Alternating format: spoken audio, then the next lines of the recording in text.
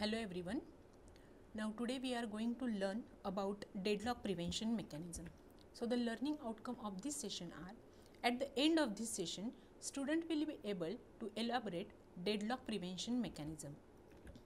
Recall that we already studied there are four necessary conditions for deadlock to occur that is mutual exclusion, hold and wait, no preemption and circular wait. If all these four conditions exist simultaneously in the system then deadlock occurs. So, for a deadlock to occur each of the four necessary conditions must hold in the system. So, by ensuring that at least one of these condition cannot hold we can prevent the occurrence of the deadlock. Now, for prevention of the deadlock what we consider we are considering that one of these conditions should not hold in the system. So, this is the primary assumption for deadlock prevention scheme. So, now we will study in detail all these four conditions, but we will consider that this how these four condition cannot occur into the system. So, if one of the condition not there in the system then automatically deadlock will never occur in the system. So, first condition is mutual exclusion. Now, as we know for mutual exclusion only one process can access a resource at a time.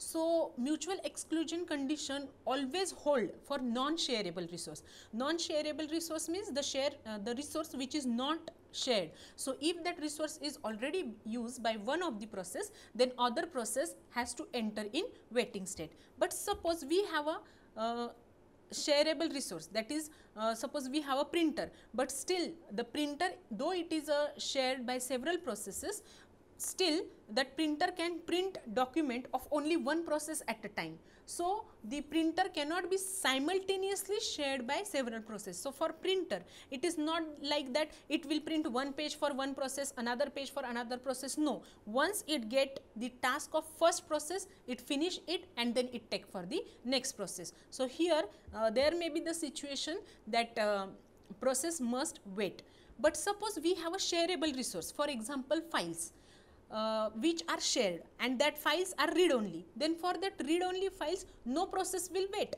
Automatically whenever that uh, uh, process request for that file uh, it will get access to that file easily. So for some resources uh, process never wait. If the resource is shareable then process never wait. Uh, so process never need to wait for the shareable resource. But sometimes some resources are non-shareable, so mutual exclusion cannot be uh, prevented uh, just by uh, saying that the all resource make all resources shareable because some of the resources may be uh, non-shareable. So, uh, uh, the assumption for mutual exclusion is that make the resources shareable. Instead of non-shareable make resources are shareable. But sometimes there is a situation that some resources are non-shareable. So keep minimum non-shareable resource in the system. Okay? This is the first case that is mutual exclusion. Now the next case that is hold and wait.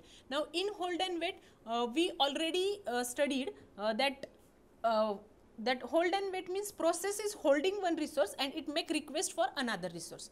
Okay? So for this hold and wait as shown here uh, we what we are studying? Deadlock prevention. So for hold and wait this hold and wait situation should never occur into the system. So as shown here if process p wants to request for resource r1 then it cannot hold r2 it has to release r2 first and then request for r1 so, there are two different protocols for this hold and wait uh, situation to be uh, should not be there in the system. First protocol is before process begin its execution that process must request and be allocated all its resources. Okay. So, pro, uh, first protocol means before execution of the process that process must request all its resources which it uh, requires for its uh, lifetime uh, and that all resources are allocated to the process for the execution. The second protocol is allow a process to request a resource only when it is needed okay or only when that process has none. For example, uh, initially process P will use resource R2 it use it and it will release that resource then only process P will request for the resource. That is the second protocol. And in first protocol the process P must request both R1 and R2 initially and R1 and R2 are allocated to that process. That is the first protocol. So, just pause the video and uh, consider that there are three processes okay? And uh, that three processes that copies the data from tape drive to disk then from uh, disk file then sorts that disk file and then print the result to the printer. So, what will happen in case of protocol 1 and protocol 2? We have only one process and we have three resources tape drive, disk file and printer. So, how protocol 1 and 2 will be applied here in case of the hold and wait mechanism. Differentiate both. Okay. Let us see we have three resources and one process. Okay. What protocol 1 says? Protocol 1 says that before execution of the process P starts, allocate all its resources to the process that is allocate all R1, R2, R3 to the process and then process will start its execution. And second is what? Process requests the resource only when it has none. So, in protocol 1, what will happen? All the resources will be allocated to the process but it is unnecessarily holding of the resource for long time. And in protocol 2 what will happen? This there is a sequence. First process will request for r1 and r2 then it will use it. Means first it will uh, read the data from the tape drive and then it will copy to the disk file then it will sort that disk file okay? It will uh, R1 and R2 first it will use for copying the data then it will release both R1 and R2 and then again it will make request for R2 and R3 to sort that disk file and then uh, give it to the printer for printing. So, uh, then uh, so this uh, request for R2 and R3 is done after copying the disk file to the printer and then once it use it release it and terminate. So, this is how the protocol 1 and 2 can be applied. Uh, but here there are some uh, disadvantage for this uh, hold and wait. The first is uh, there is low resource utilization. Now, how low resource utilization? Unnecessarily the all the resources are allocated to the process uh, before it starts its execution. Okay. So, unnecessarily there is a hold uh, by that process to all its resources. So, though other process re, uh, may uh, request for the resource and that resource is not being used by the currently process, then it is wastage of that resource. So, resources cannot be utilized properly in case of the uh, first protocol. Many resources may be allocated, but they unused for long period of time, they remain unused for long period of time. So, release tape drive and disk file and again request is this is uh, the case in the second protocol that first we are releasing tape drive and disk file and the again we are requesting disk file.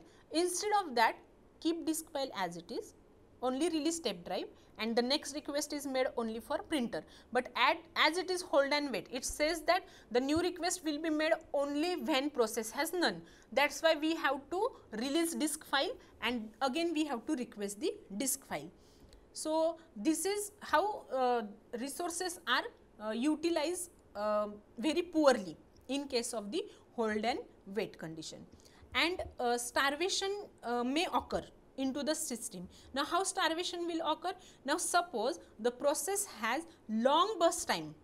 In, in case of protocol 1, all resources will be allocated to the process and as all resources are allocated to the process, the process uh, unnecessarily holding that resource. So, the other process which request for the resource may enter in waiting state for long period of time uh, till that process completes its execution. So, unnecessarily processes enters into the waiting state and the process which are holding other resource and another process request for that resource that process again enters into the waiting state. So, like these processes may enter in waiting state, waiting state, waiting state and their waiting state never gets changed and the starvation situation may occur into the system. Now, uh, no preemption. We are saying that uh, this no preemption should not uh, hold. Huh. This is the third uh, deadlock prevention mechanism that is no preemption. Now, no preemption means uh, never preempt the resource. never preempt the resource. For dead, deadlock prevention, uh, we are saying that no preemption should not occur into the system. So, what we will say as this no preemption does not hold in the system, allow preemption, allow resource preemption. So, the protocol design for this is as shown here, we have process P1. Okay. So, as we have process P1, it is already using R1, R2 and R3 okay and uh, one of the one instance of the uh, R2 is used by process P3 okay.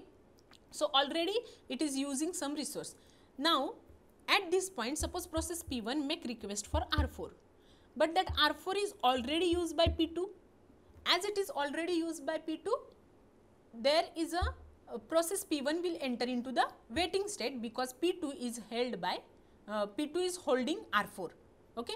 So, here R1, R2, R3 are preempted. So, the first protocol says that if process request for new resource and that resource is not allocated to that process, then preempt it all resources which are held by that process. So, it has to preempt R1, R2, R3 okay, and P1 will start its execution only when all these resources that is R1, R2, R3 and R4 are available. So, uh, the first protocol for no preemption is whenever process make request for new resource and that new resource is not currently available then preempt all its allocated resources and process will start its execution only when all the resources are present all the resources are available and it is given to the process this is what the uh, protocol 1 for deadlock prevention. So, in next video we will see the protocol 2 also. We will continue with deadlock prevention mechanism in next video. Thank you.